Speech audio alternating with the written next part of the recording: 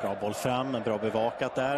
Eh, Videll, men nu är det ändå utsikten som går till anfall och in i mitten finns Hedlund. Hedlund vänder! Hedlund gör 1-0! Lukas Hedlund sätter dit 1-0 i den 82 minuten. Och det ser riktigt illa ut för Helsingborg. Han gör sitt fjärde mål för säsongen, Lukas Hedlund. Och vilken vändning!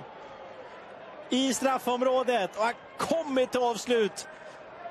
Otagbart för Kalle Joelsson.